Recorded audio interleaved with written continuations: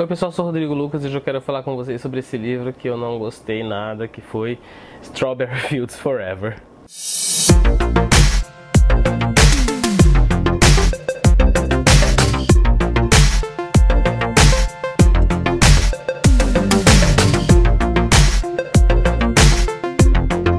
Bom, antes de começar a detonar o livro, eu quero dizer que o livro ele tem uma proposta muito bacana. O livro ele conta a história da Teresa, que é uma adolescente, e ela com o pai e a mãe saíram de Portugal para ir morar nos Estados Unidos.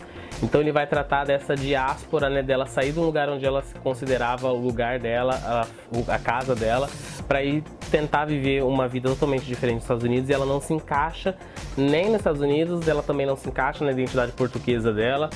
E enfim, esse livro aqui poderia ter o título de A Vida Desgraçada de Teresa, porque olha, tudo que tem de errado para acontecer acontece. Mas enfim, vamos lá. A Teresa é uma adolescente, então ela está passando por aquele, aquela fase horrível que todos nós passamos, onde ela não se encaixa, ela não se identifica e ela não se dá nada bem com a mãe dela, que é uma mulher que se mostra ali no livro um pouco superficial. A mãe dela se recusa a aprender inglês, então ela é totalmente deslocada ali da sociedade onde ela está vivendo, na cidade dos Estados Unidos.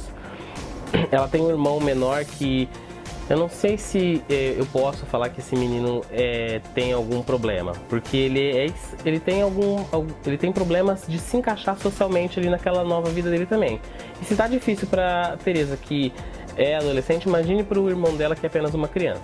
Então, às vezes o livro dá a entender que ele tem algum problema psicológico, outras vezes que ele é apenas uma criança tentando se encaixar, mas enfim. A Teresa tem um amigo, o melhor amigo dela, o Angel, que é um brasileiro gay. E esse menino é perseguido na escola, é espancado e ele acaba fugindo de casa. Então, outro aspecto, né, negativo aí na vida da Teresa que ela vai ter que enfrentar. Esse preconceito que o melhor amigo dela, que ela tem uma quedinha por ele, tem que enfrentar diariamente. E se não fosse suficiente, o pai da Teresa morre no início do livro. Ele entrou com uma suspeita de pneumonia no hospital, acabou pegando uma infecção hospitalar e, enfim, faleceu. O, o livro tem vários pontos é, que poderiam ser melhor elaborados, só que o que, que acontece? A narrativa desse livro é muito misturada.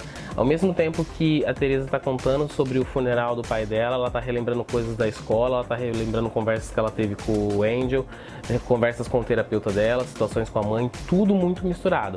Então, às vezes você começa um assunto num capítulo e esse capítulo se estende demais, demais, demais até que você conseguir ver a conclusão daquilo que está acontecendo. Então, desestimulou demais a leitura.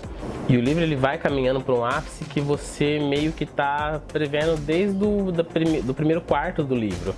A Teresa ela começa a é, tentar se envolver em situações cada vez mais destrutivas, porque já que nada está dando certo na vida dela, vamos ferrar com tudo mesmo, né? Então ela começa a assumir essa posição diante de tudo da vida dela, na escola, em casa, com o amigo, com o irmão. Enfim, é um livro complicadinho para você ler, mas enfim. Eu achei que ele ia ser um livro YA, é, leve. Eu tinha terminado de ler Miniaturista, que foi um livro um pouco mais carregado, mais adulto, então eu tava querendo ler uma coisa mais levinha. E catei esse livro. E me ferrei totalmente, porque isso aqui só tem coisa ruim, só tem desgraça nesse livro. O nome, né, se você ligou, tem a ver com a música dos Beatles. O Angel ele é fascinado pelos Beatles e ele quer levar ela para um monumento lá em Nova York, em homenagem ao John Lennon. E assim, o livro é cheio de fatos e coisas jogadas sem motivo, sem estrutura. Enfim, me decepcionou demais esse livro. Eu deixei ele bem bonitinho para ficar né, em um bom estado para trocar ele no sebo assim que eu puder. Se você já leu esse livro e gostou, deixa nos comentários, né, me explicando por que, que você gostou. Quem sabe eu falo, não, é verdade, né, isso realmente aconteceu. Esse livro tem isso de positivo. E, mas enfim, eu não gostei. Pessoal, mais um vídeo é, de resenha. Curta, compartilhe, use os comentários para entrar em contato comigo. Ative o sininho para receber as notificações assim que os próximos vídeos saírem e até a próxima leitura.